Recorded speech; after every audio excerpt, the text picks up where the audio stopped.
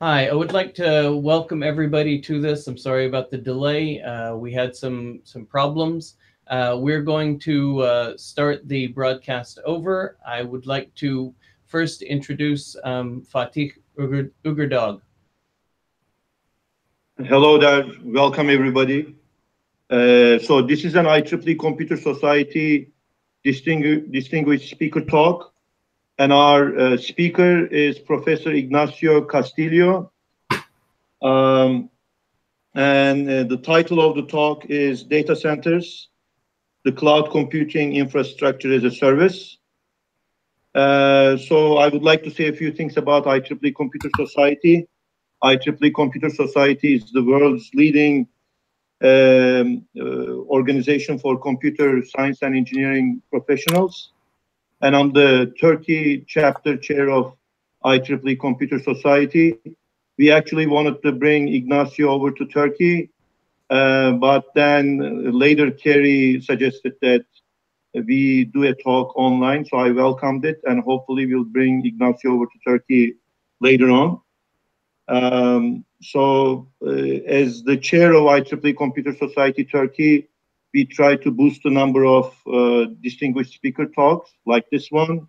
And we try to organize as many local conferences as possible on computer science and engineering.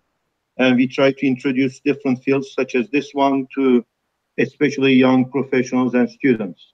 So I want to uh, hand the microphone over to Ignacio now. Well, Dr. Fatih, thank you very much uh, for, for you and the Turkey chapter of IEEE Computer Society. Kerry, thank you very much for hosting us. Well, this talk uh, deals about data centers, the cloud computing infrastructure as a service. Well, the three parts we will offer uh, is cloud computing a general view after we will center on data centers and some spatial applications. At, at the end we will center on certifications for data centers.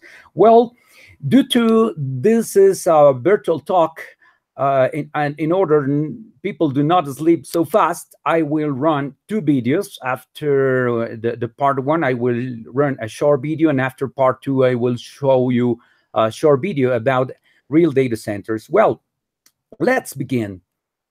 Uh, about cloud computing, we call cloud computing um, the fourth way of computing.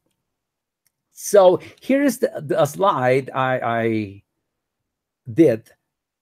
I made in 2011 and 12 using the IEEE initiatives, the IEEE Smart Cities, Internet of Things, Cloud Computing, Big Data, Smart Grid, cybersecurity, and well, we will be talking a bit about cloud computing. Well, we, we call cloud computing the fourth wave of computing. Maybe in past we remember, sorry, we will remember that everybody was talking about ISP, Internet Service Provider. But also in time, people changed this terminology. The description was changed to Communication Service Provider. And now we also can use the same letters, but having a different meaning, cloud service provider.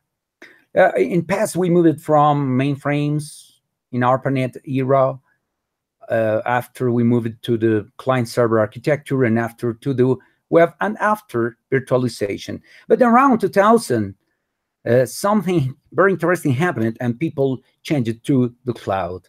But well, how was it defined or why do we move from virtualization to cloud, where virtualization, maybe everybody can remember in 80s and 90s, uh, virtualization was applied to RAM, disk drives, computers, servers.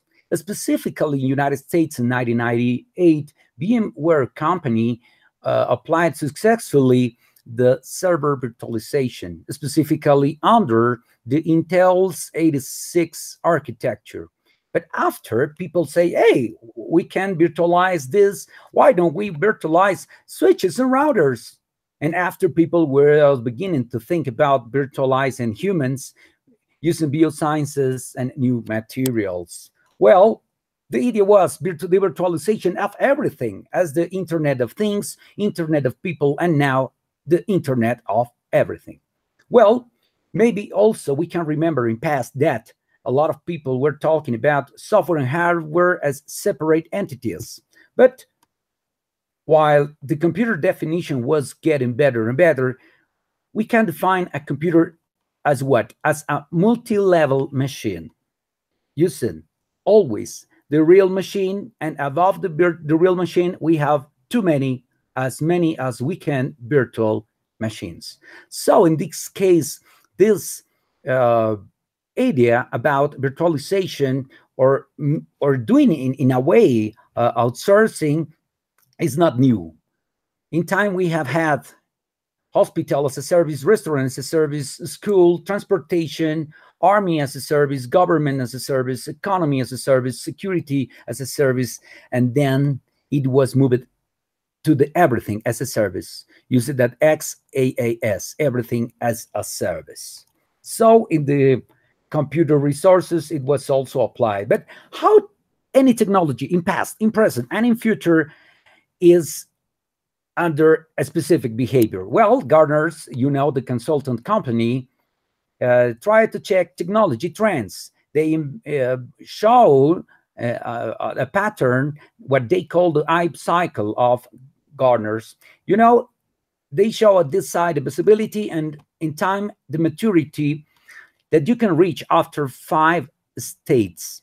You begin with the trigger of a specific technology, the peak of inflated expectations, uh, the disillusion.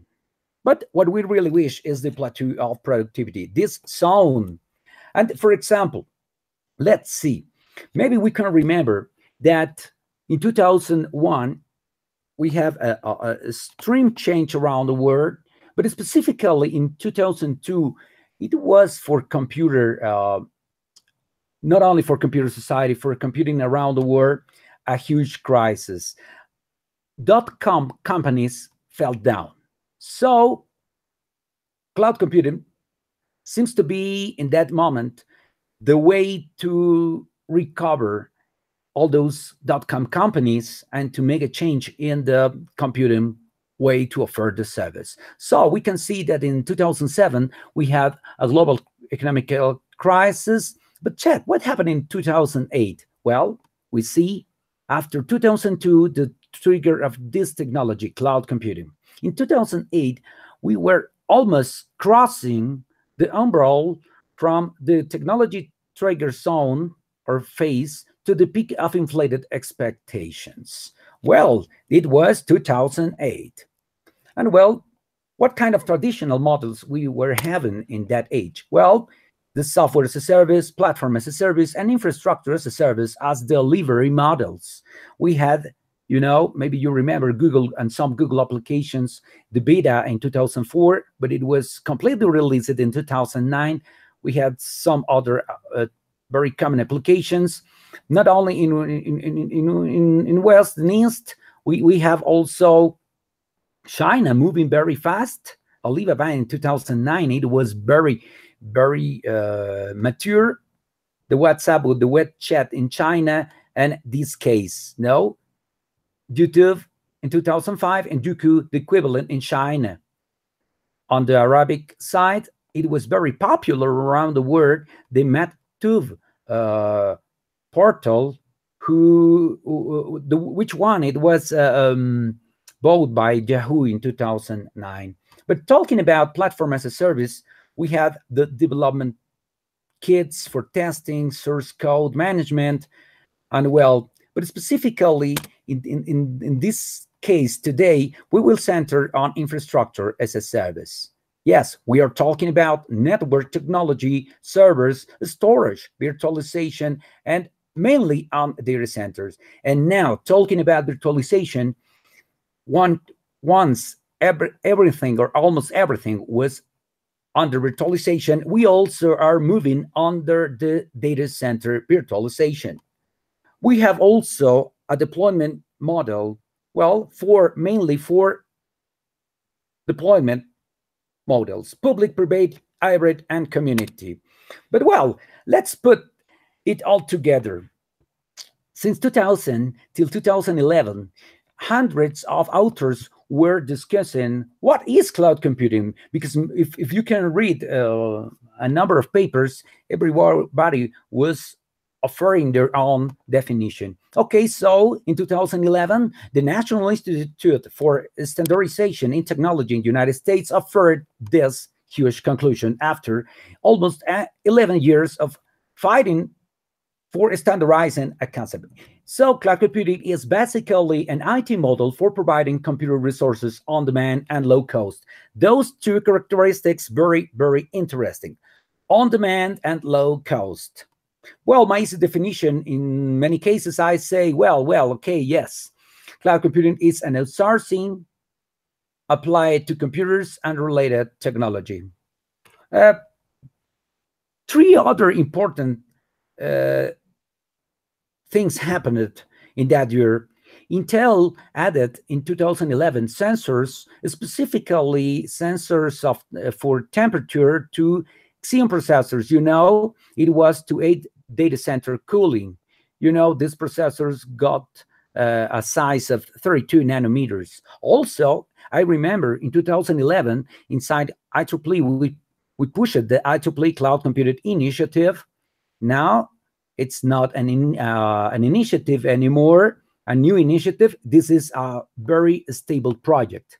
Also, maybe we can remember 2011, the Fukushima disaster, they moved a, plat a complete platform using infrastructure as a service, platform as a service, but also the software as a service. This held to zero Fukushima. If you have the chance, you could uh, access using this link. But also in 2012, we passed it more to more than two exabytes. So we entered definitively to the exabyte era. And here we have the cloud reference architecture, as you can see, it's divided in three different colors. What users see, the user, the front end, the network. In blue, we have the cloud-specific infrastructure checking the software as a service, you know, the cloud web applications. Also, the combination of platform as a service and infrastructure as a service. But check this, we have the storage communication and the IT computational resources. On the other side, we see the kernel hardware facilities. But please check from the right to the left. We have the provider. Now, who will support the IT infrastructure? The provider also, yes. But also we have another dimension, the authentication mechanism, the management access, and the services and some applications. So the, it was the cloud reference architecture. This model could be studied even for from you, you said um, for determining what kind of view do you want from cloud computing. Well, and this is what we were talking about when we used the cloud computing um, initiative um, pushed by IEEE. They moved it with many conferences and publications, and the first magazine was this, IEEE Cloud Computing, the essential issue. No? Well, maybe some of you can remember after they moved two years after they moved to having uh, transactions. Also, if you wish to know more about the IEEE cloud computing, you can get to cloudcomputing.ieee.org. In this case, for example, uh, they were dealing about the platform as a service and cloud. Well, but as you know, IEEE uh, together with the NIST we're moving to work with two uh, standards. The P is because it was uh, uh, uh, in the face of the project. Maybe we can remember that in past, in order to make a portability and interoperability between computers, the standards must be developed. And after, what happened?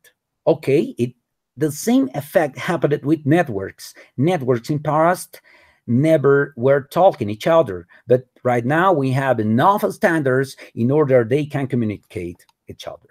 So what's next? If the next step is cloud computing, then we need portability and interoperability for the cloud, but also interoperability and federation interclouds when we change not only inside a country, but among many, many countries. So they have, in this case, some considerations uh, conducted by the IEEE Standards Association directed to the cloud computing initiative. So we were talking about the combination of governments, industry, and universities and other uh, partners in order to offer protocols, process, practices, and the best governance using a test bed with contributions with people from around the world. Well, if you wish more information, you have to access to these two standards. Well, let's see what happened in 2014.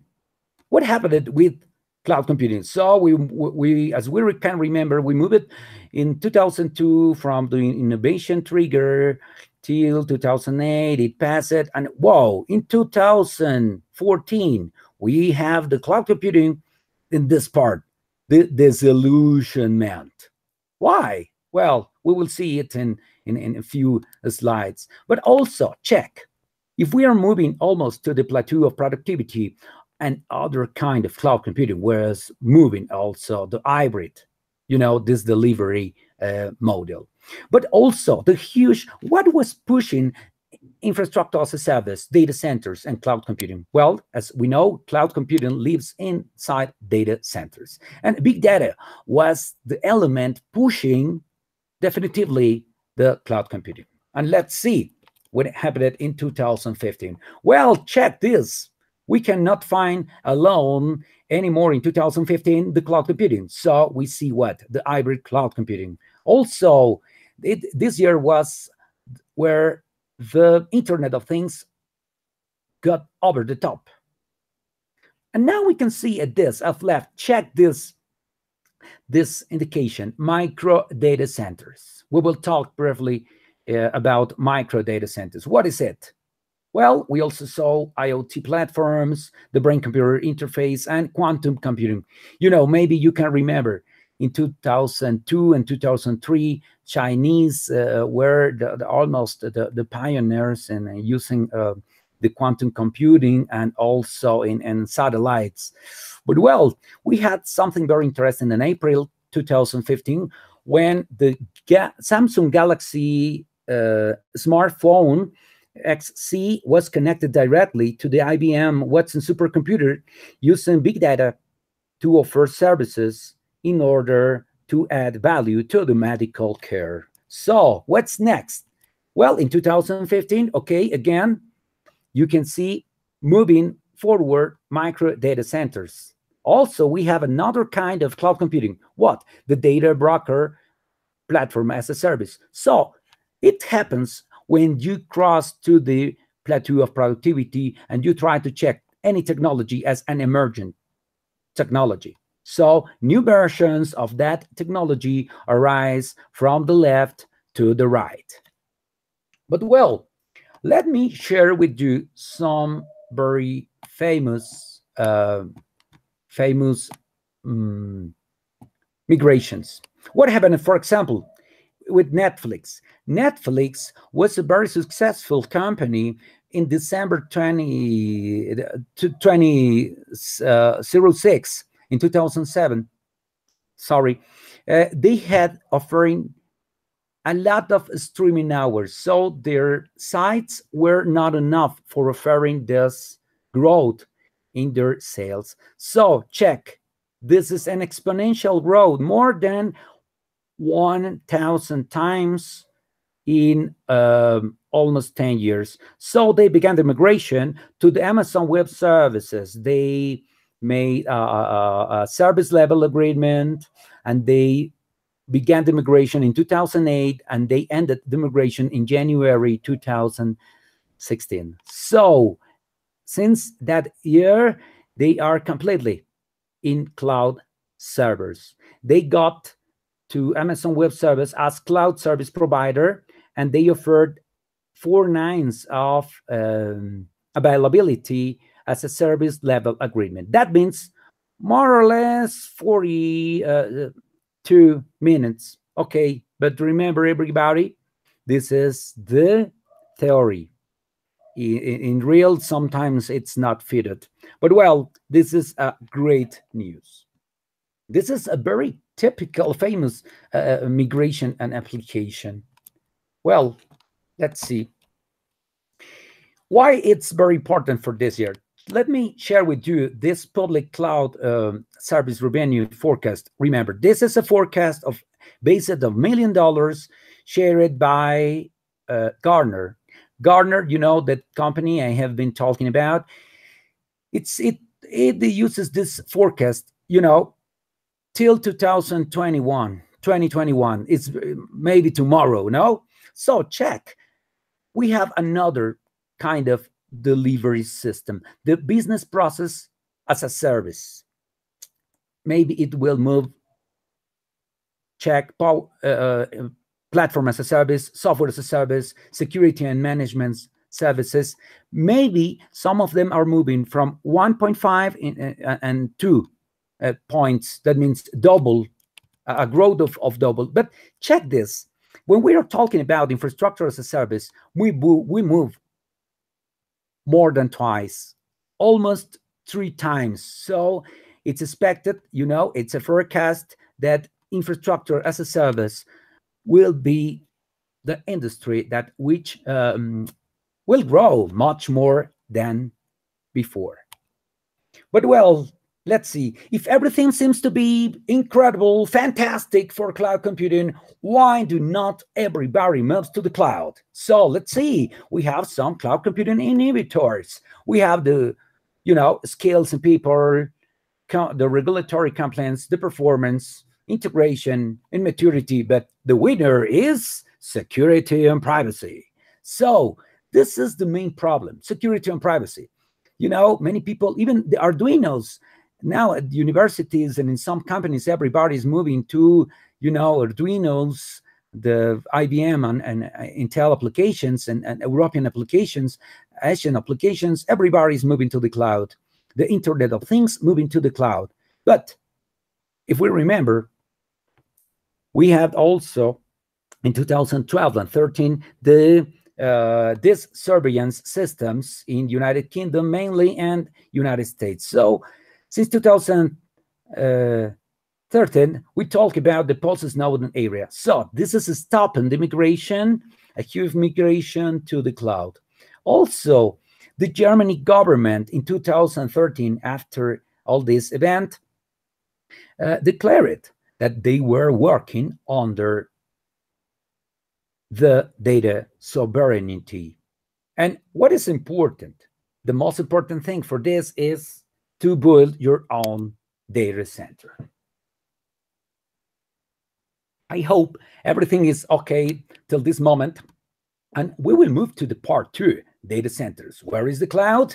All this cloud is supported by data centers. Then we will check now in all this environment, all this ecosystem for technology. We will move to the data center specifically. Please enjoy the video. I hope it could offer a better idea. This is supposedly the hugest data center around the world. Let me know if we have a problem.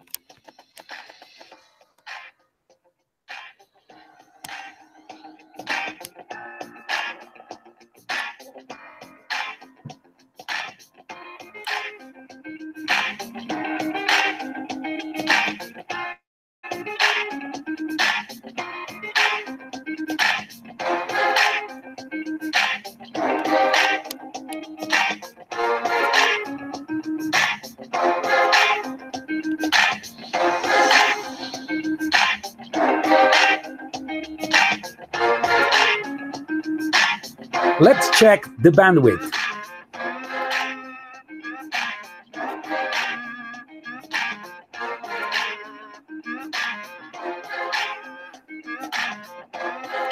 They center physically on this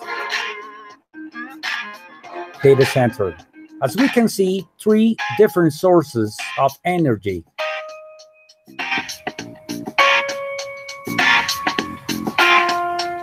the amount of energy is really huge. the quantity of energy required for huge data centers.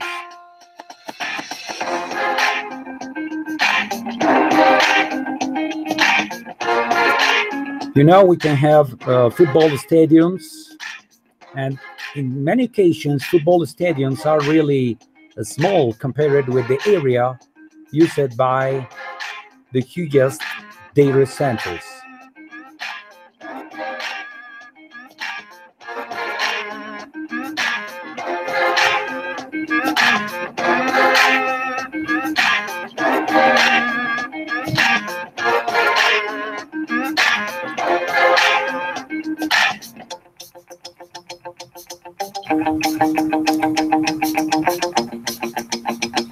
This case, we have water cooling. There is also free cooling and many other systems for having the cooling because the high quantity of heat released from that amount of devices on systems.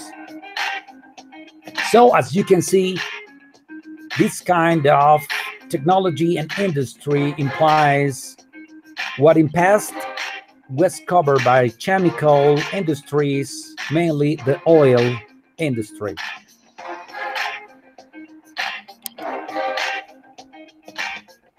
Well, this is only for having a, a, a general idea.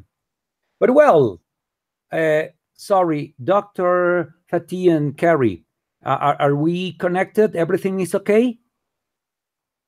Yes, everything is good. Okay, I hope also Yes. speed is okay. Thank you very much Yes. for both. Okay, let's get into data centers. Are, are all data centers equal? No, we have many um kinds of data centers. We have the enterprise data centers. This is uh, intended or located mainly for, we can see armies, governments, and mainly, you know, companies.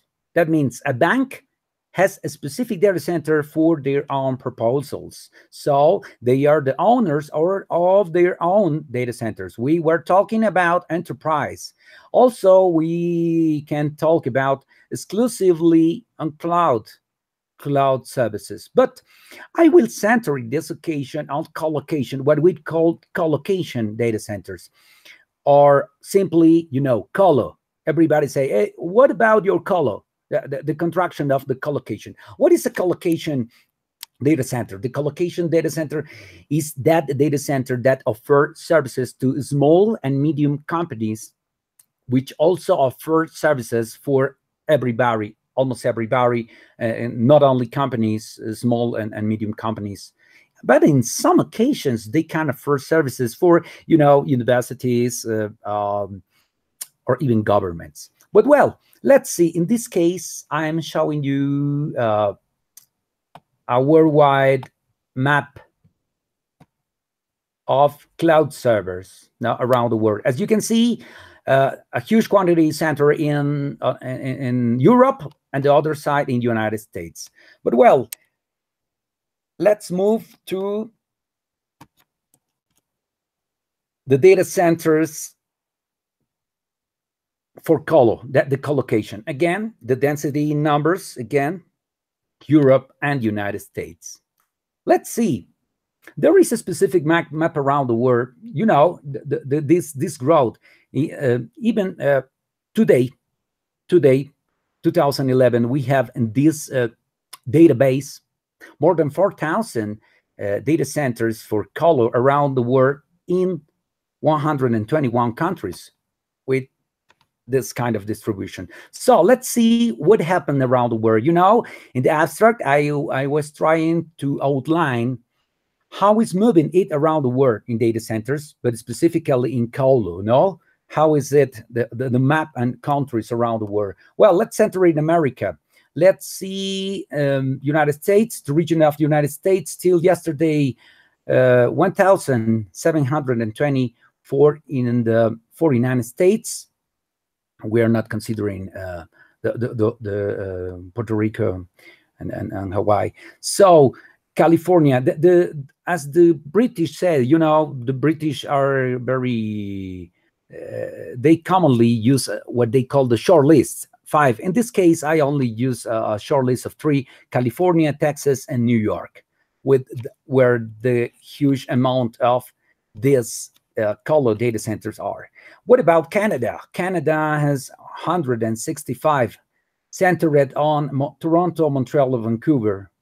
No, you know, um, very close to the border with the United States. What about Mexico? Mexico 11. Obviously, we are not talking uh, about all. We are talking about the registered and some of colo. Obviously, uh, as in any country, we are not considering the enterprise data centers which are uh, under the control and the ownership of all banks. Here we have for the rest of America, South America, Brazil, Argentina, Chile, and Colombia. And well, what about Europe? In Europe, most of them are centered on British. Let's see, United Kingdom, 249 centered in London, Manchester, and Leeds. Germany is the second in Europe, 189, Frankfurt, Berlin, Hamburg, France, 147, Paris, and Lyon. And after it comes the Netherlands with 95 and Italy with 68. Well, you know, uh, after is um, Spain with 55 and Portugal with 37. So let's see Turkey, my friends who host this talk uh, South Africa, Arabia, you know, Africa and Middle East in, in order to, to move the map. Here we have, for example, Algeria, one, Angola, Congo, Egypt. But here we have Turkey. Turkey is the leader in all this region with 47. After is coming South Africa and Saudi Arabia. So in this case, uh, you, you know, you know, uh, yes, uh, in, in, some occasion when I was in Tunisia, and uh, and in Lebanon, uh, it was very funny uh, because um, some friends tell me, well, well, yes, we are inside Africa, but we um, consider us as we if we were in in in Europe. Was well, we are talking about the region A as IEEE considers now a Africa and Europe. But well, we try to separate it, and we see that Turkey is a leader in the zone. We have also United Arab Emirates and Israel. So Turkey is really powerful in, in this zone. Let's move to specifically to Turkey. Uh, maybe people and um, uh, members in the IEEE Computer Society uh, Turkey chapter are more involved. In Istanbul, if you are in Istanbul, you can find 28 and uh, in Ankara 6 and Bursa 4 and in other cities one or two of this kind of data centers distributed in this this way obviously uh, we can have many others but this uh, those uh, data centers are registered now commercially and registered obviously we can find maybe other data centers which have not been registered in that platform. Let's see what happened in Tunisia when I visited Tunisia. Uh, okay, we can find this, the EU data center. This is very related with Europe, and also Lebanon, in Beirut, just one. The Lebanon is for advanced information. So in future, we can hope they can increase. But what about Asia? Well, the leader there is India with 140 China with 72, 77, sorry. And you know, uh, in China, there is another phenomenon. Uh, the information is not very easy. They, do not share information as United Kingdom and USA does. No, no, no. no that's the, the, the point with China. Also, Russia, Russia is reserved in, in the number. So we have, uh, sorry, I uh, in Hong Kong we have uh, 42, and in Japan we have 43. Japan is a very specific case. They have their own uh, certifications and their own rules for data centers, but they are very, very strict. Well, and at the uh, um, and last, but now let's we have Australia In Oceania, Australia has more than 100 in Melbourne, Sydney, and Brisbane, but in New Zealand, 31 in Auckland and Christchurch. They're centered in that way. So uh, I I hope we can have um, uh, an, a very well outlined view about what happened around the world with this kind of data centers. So my question right now is, okay, Ignacio, you have been talking to us about cloud, about data centers in general, the, the, the huge one, but how is a small data center? Well, in this case, I will show you some photos about a data center of 22 square meters.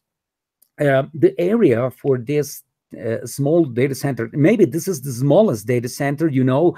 Below uh, the smallest data centers, we only have what we call the sites. But you need specific rules and characteristics to call a data center. So in order to be certified, you need at least more than 20 square meters.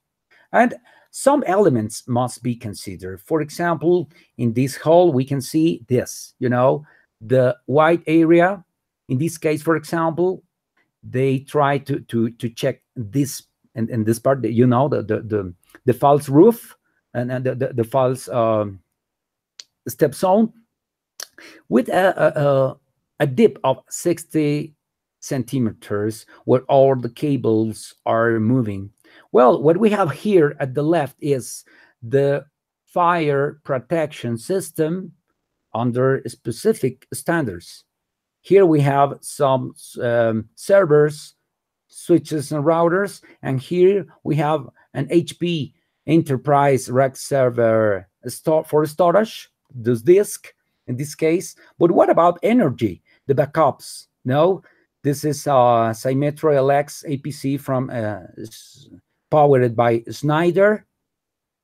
The, the backups, uh, you know, the UPS, the, the, the power systems, and the backup. Why? Because every data center must have redundancy, redundancy in energy, redundancy in servers, redundancy in storage, in fire systems. And here we have the, tools a high performance air conditioning system in order to maintain the temperature and humidity according to the standards. So you can imagine a, square of 22 square meters. And in, in this data center, uh, people is looking for a certification, what we call the tier two. We will see in brief about certifications and standards. What does tier two means? Well, Let's see. Uh, maybe you see, okay, this is uh, at, at, the right, we can see the, the, the white area, and we see this window. What is through the window? Through the window, we can have the, oper the data center operation center. In this case, we have two people, two girls, watching and having the management of all this data center in order to offer services to their people. In this case, we have people in a specific university. What do we have? Well, for the highest levels, we have we wish this DCIM, Data Center Infrastructure Management. So they are helped and supported by uh, monitoring systems. We will check in order to assign all the virtual machines, assign the resources, but also monitoring with sensors, everything. Well, let's see. In this case, uh, we see they use VMware, this uh, operations manager, indicating, you know, the the capacity. What is in this case? They only have for a specific uh, infrastructure almost the 20% of the capacity to deliver the use of CPU, memory, the workload, and metrics and workload. So they monitor all the development and the operations inside the data center. But well, what happened with the rest? Okay, in this case, this provider uses a kind of watchdog using sensors for temperature, humidity, uh, water, le le even level uh, the the air, the level of humidity in the air, the level of uh, uh this noise, uh, you know, a lot of sensors, temperature. They try to monitor all the environment. How is the state of everything? So let's see. That's what we have in a small data center. So now multiply it by thousands of times when you find a huge data center. And well, let's see this other video. Another very important data center, you know, in this case, you will see data center because this video uh, is, was developed by, you know, people in United Kingdom, you know, people in US use center people in United Kingdom use center. Well, this is another interesting thing. Okay, please, everybody, don't sleep. We got another small movie. Today, the world is inhabited by a vast amount of data, rapidly growing. The amount doubles every 18 months. By 2015, European countries will use 100 terawatts per hour on powering data centers alone. This equals the consumption of 8 million homes. And did you know that the computer industry is responsible for as much as 2% of the world's CO2 emissions? Through its natural resources, Norway is capable of producing inexpensive renewable energy.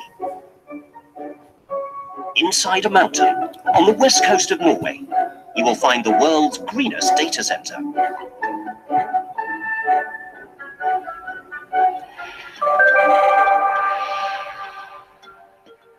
Operating solely on renewable energy, Green Mountain Data Center has virtually no CO2 emissions and leaves no carbon footprint. By utilizing three independent power connections, our center has a very high level of redundancy and resilience. The combination of Norwegian weather and geography makes the country a unique supplier of low-cost renewable energy. The Green Mountain Data Center is adjacent to a fjord that provides year-round free cooling. This reduces the center's PUE to a world-class low. Combining low consumption and low energy costs, the total cost of operation is reduced by 20 to 30%.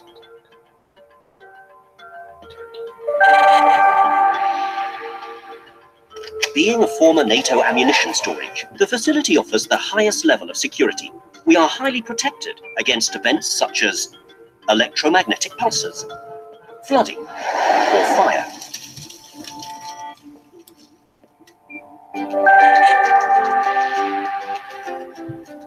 Our facility space consists of a total of 21,500 square meters.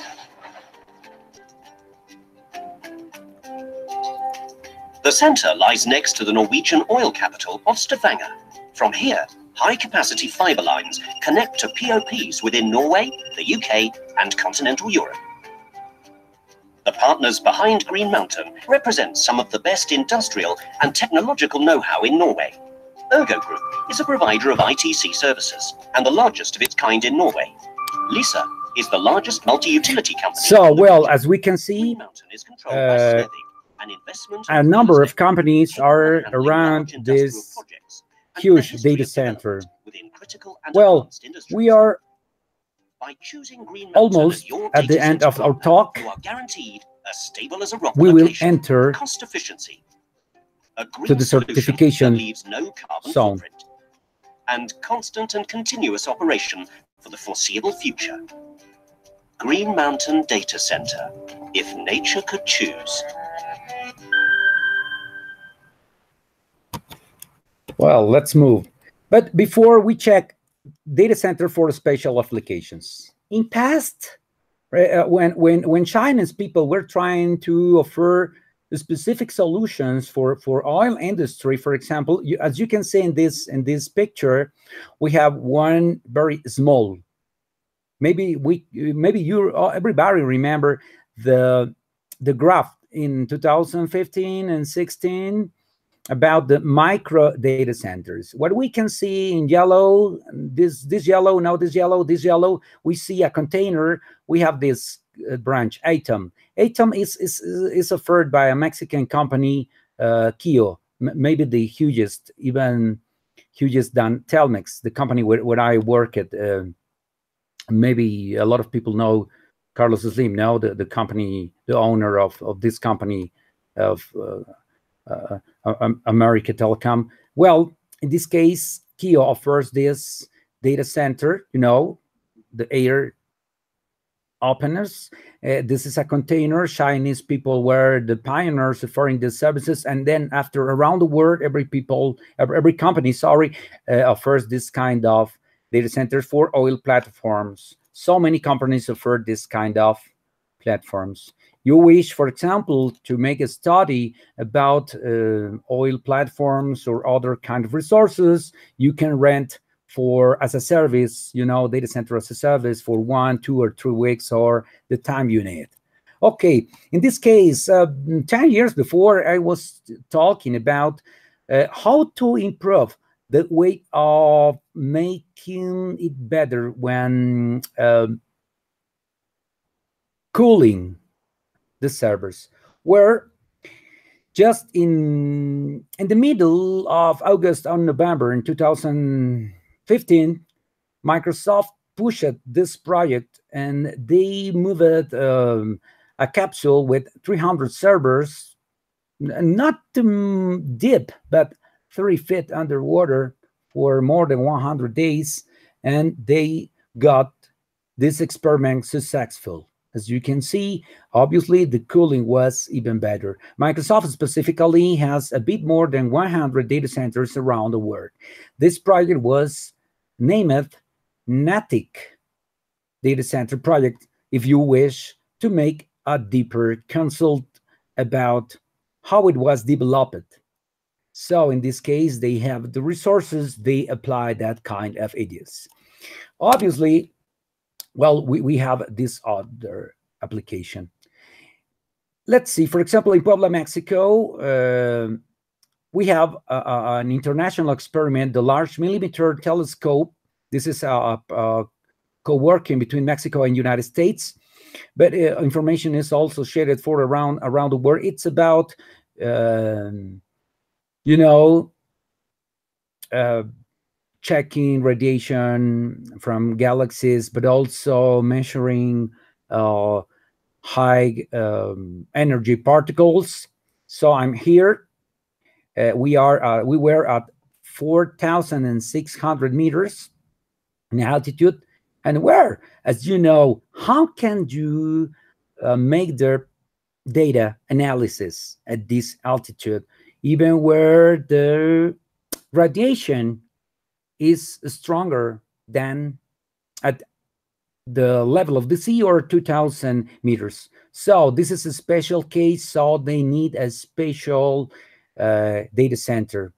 Uh, they really have right now a site and they are trying to move to a data center because it's very costly to move information, to take the information, to be uh, studied, analyze it in other uh, altitude. You know, even helicopters only get to 3,000 meters, not above.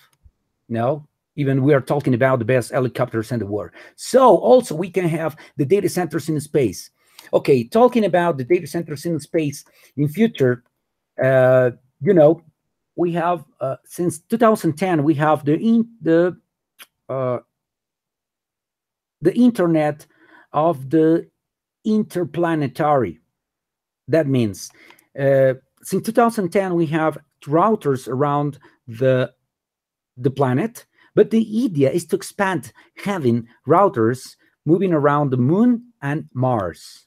So it is expected that in 2040, we can have complete connectivity with Mars and the moon. But we have two choices. One choice for next generations could be building a data, data center in the moon or, or even in, in Mars, or the other one is having data centers in space. Yes, as if it were satellites, but really, really, they were mm, having or offering a pre-process for the information.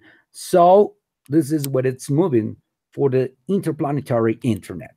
And for the last part, we move to international standards for data centers and certifications. In this case, for example, the first one was the Uptime Institute. Uh, the headquarter is in United Kingdom, but also we have the International Computer Room Expert Association. It was born in Mexico and it's more centered to Latin America, but also in Spain and in, also in other countries. But you know, uh, uh, we will see uh, what it's deal about certifications. Specifically, I have talked to you about Kio. This company in Mexico, they have 32 data centers, 16 with tier 4 certification and 16 with tier 3 certifications. They are very competitive. They have a number in Mexico, but also in United States, Panama, Guatemala, the Dominican Republic, but also in Spain.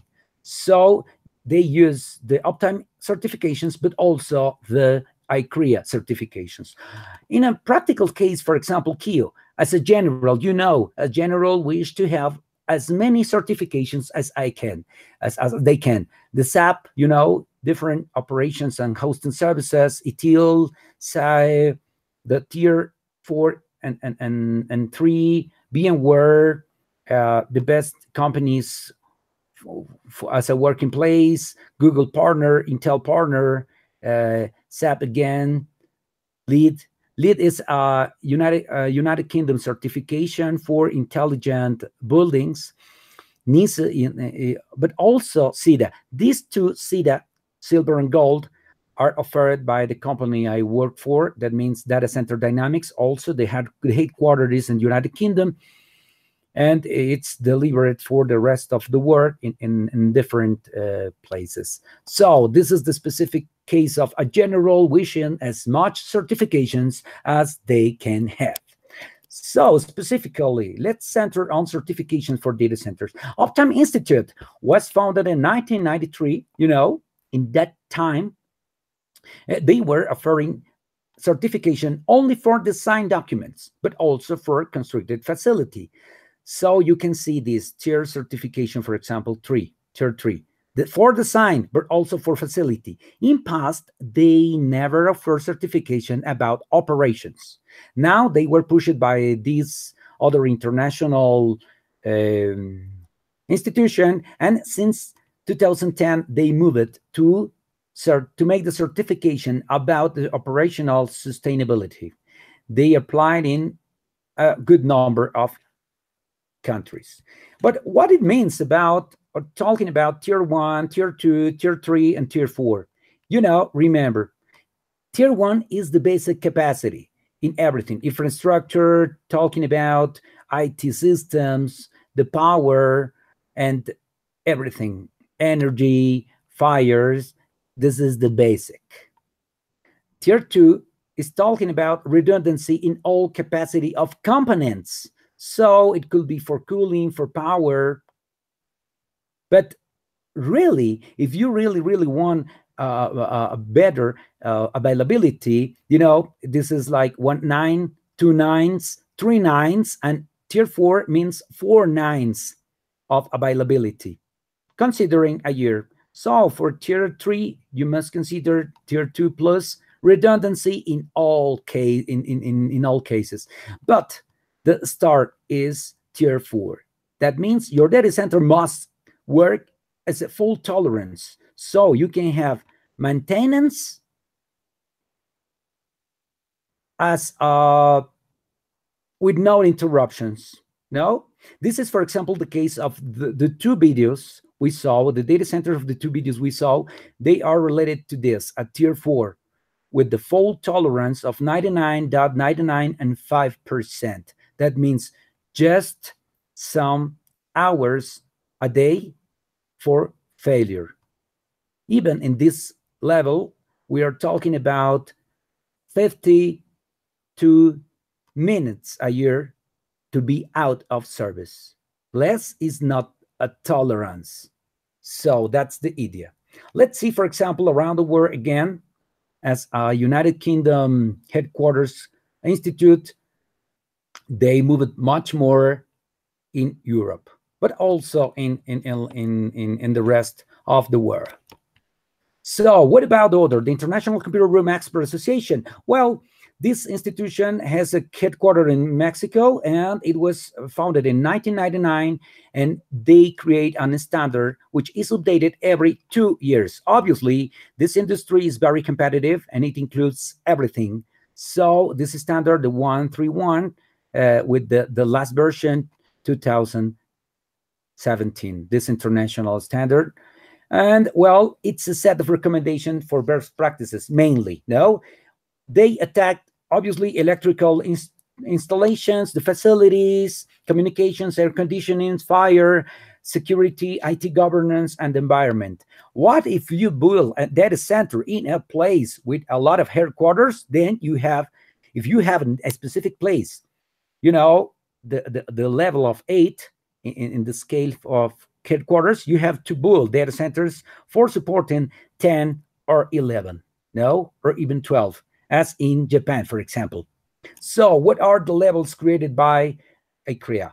So in this case, they have five levels, you know, it's driven by the number of nines. So the number five, the level five, that's what we call the high security, high availability, high security, safety, world class, quality assurance data center. That's the entire name for the level five of ICREA level with five nines. That means a bit more than the Uptime Institute. That was the reason because Uptime Institute began to offer the operation. In this case, ICREA offers certification about the operation. They do not certify the design or the of the construction of the facilities. So the both certifications for companies are complementary.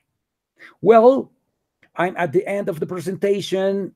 Uh, mainly conclusions are from you, but in the final slide, I have to say that this post-Snowden era or age has changed some things and it's making the infrastructure as a service as something not only to be as um, not sourcing service it is a need for the data sovereignty pushed by germany that a country need to have their own data centers. That means data centers inside your country. Obviously, it sometimes it's not very easy for countries which not too much economic power.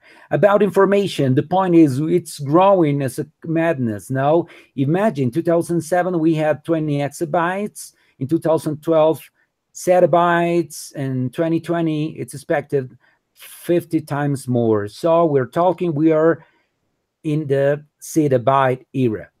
The main problem with big data and with uh, data analytics is that around the world, less than 1% of all information is analyzed. So a lot of information has been stored. But, you know, we are spending a lot of in storage, but analyze it not too much. Well, with videos and audios is a bit different thing. So it will be a lot of investment in high performance analytics, what we call the big data analytics. So it's a huge business and it will increase and we will see how the faces of cloud computing will continue changing with infrastructure as a service. Well, everybody, thank you for attending for this talk. Uh, between our institutions, IEEE Computer Society, and mainly I want to thank to the Computer Society Turkey chapter, Dr. Fatih and Kerry for hosting us. I don't know if you have some words to share. Thank you very much. It was my pleasure. Are we on time? Uh, yes, we are. Do you have a few moments for question? Yes, sir. Okay, there is um, one question coming from Enes. Uh, and this goes back to your um, slide that had the, the image of the data centers in Turkey. And uh, Enes would like to know how many um, data centers are in Izmir, Turkey, if you happen to know that. Sorry, we, we are in the, okay, are we checking the the Turkey? Yes, Istanbul, yes. Ankara, and Persia. So sorry, the question is Izmira? Izmir, Turkey, yes. Izmir, Turkey. Let me check a specific three. Three. Three. So please let me let me show you. Let me show you. Where can you find? I will out the presentation. I'm sharing still the the. Okay, let me. In order, everybody can check. This is.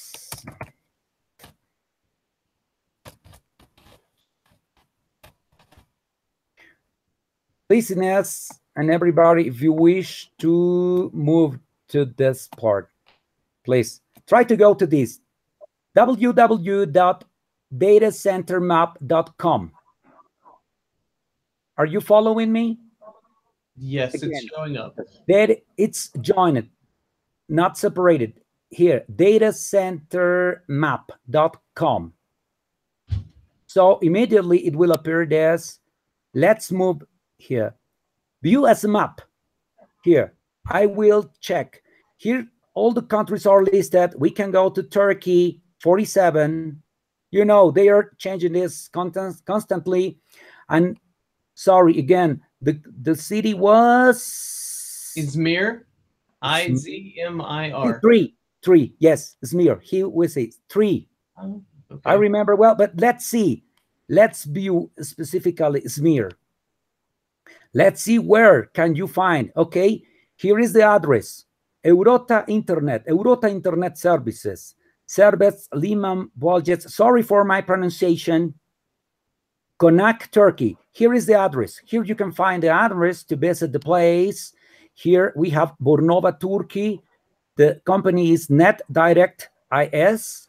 And here they are telling you that Inedmart and other companies hosting more than 50,000 websites and with more than 1,500 services.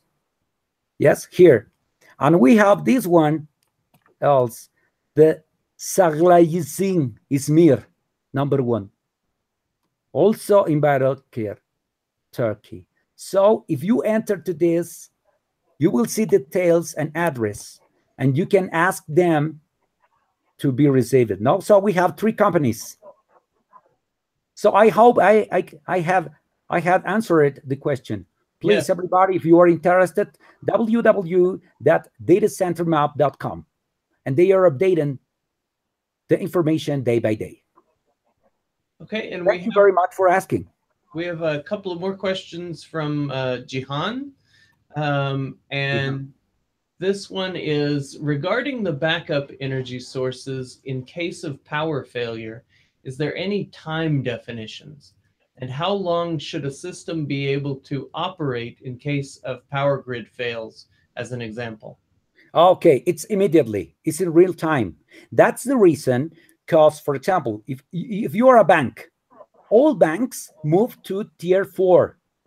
All banks move to tier four or I- ICREA five. That means multi-redundance, not failure, and the change.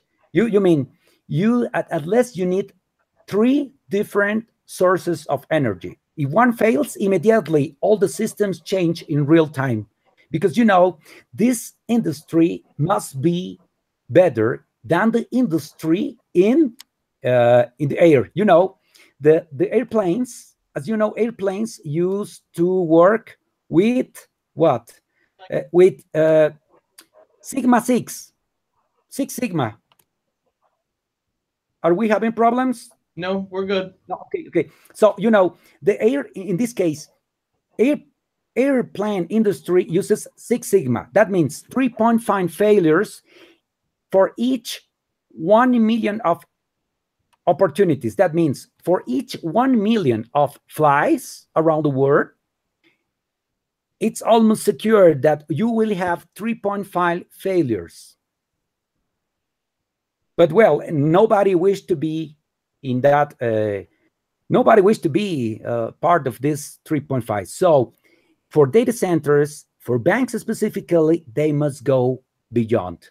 So, this is very strict if you are in the zone of the ICREA 5 or tier 5. But if but this is very expensive. So, in this case, not everybody goes to that levels. So, some smaller companies go to tier 3 or ICREA 4. It depends. In Mexico, for example, we have only two universities interested in uh, the certification in tier one for their data, data centers at universities. But, you know, this certification is given year by year. So it's really expensive. Um, Are we okay? Yes, no, we're fine. Uh, the issue I think is is just with your your computer because you've got me spinning around in circles there. Oh, yes, yes, perfect. so the next question is for the data data centers in space. Wouldn't the extreme temperature changes Yes. as well as the solar inabi- uh, instabilities be challenges? Yes, yes, that's the point. That's the point. I, I'm I'm uh, uh, working a bit in uh, with people in France in, in Grenoble because they have a specific uh, study group. Because you know now the the cheaper satellites using electronic coast, no, the low cost, and they say okay, maybe radiation will impact, but at the end of the day, my satellite will be in in, in uh, functioning for three years. So they are trying to use these devices. Obviously, high energy uh, impact their devices, and they can change the the, the, the data. No, but now we have uh, around the world very well know, knowledge about satellites. So the idea is now having more than the than this, just the satellite and having a, a container or even middle of the container but yes obviously yes you, uh, you, you're right uh, the high impact the impact of high energy particles is a mess it's a problem. The same that we'll have the the not only the equipments but also the humans. So we have to decide some companies have and and, and uh, governments have to decide if putting the data small data centers a number of small data centers in space or having data centers inside moon or inside mars so new generations will see that Okay, and I think this will probably be our last question since uh, we're going long and we don't want to keep you um, for too long. Ah, no problem for me i'm This happy last- This last question is, um, I have a question reg- regarding Microsoft Project Natick, uh, which is an undersea data center. In Yes. terms of infrastructure and maintenance cost, is it feasible to build data centers under the sea? Well, yes, but this is a very specific kind of uh, data centers. And imagine, for example, the idea is, uh, as you saw in, in the case of the, the, the Green Mountain, it will support any change in the sun, uh, not only cyber attacks, also wars. So in many cases, governments are using real bunkers for war no, even for nuclear war. In some countries, the richest one, some data centers are very deep inside, and they are prepared uh, uh, uh, for uh, for um, having enough uh, resistance against nuclear attacks. No, really bunkers. So the other idea is having data centers inside the sea. This point is for cooling because as you see uh, before, the amount of energy is really a problem. In some parts in, in, Europe, uh, for example, Google and uh, Facebook offer the hot water to the town. Why? Because the quantity of, of heat that you have to take away from the data centers is really amazing. So even for example, in this case, maybe you can remember that Chinese in, in the last case, the case, they moved their, their ships from China to maybe United States or other countries moving and having people inside working day by day or, or, or during the, the, the three blocks each eight hours. And they now move inside the ships also data centers. The easy way, the, the, the advantage is to have what? The water of the ocean. Obviously, what they have to do is to clean that water. But they could use chillers, and other technologies. And that could be the reason. So people is trying to look any solution in order to reduce the energy spent for removing the heat in data centers. Okay, very good. Um, Fatih, do you have anything that you would like to say from here? Uh, no, nothing to add. I think it was a great talk, very informative. Uh, I think I'll be looking at this um, URL, datacentermap.com, after we hang up. Okay, great. Okay. Well, Thank you. Well, thank you very much. Well, thank you very much. Thank you to all the audience also. It was great having you guys, and uh, I hope that Thank we'll you. have. Thank you, Ignacio. Thank, Thank you, Kerry. Dr. Fatih and everybody in Turkey. Thank you, Kerry. So have a great day. Thank you very much. Bye. Okay, you too.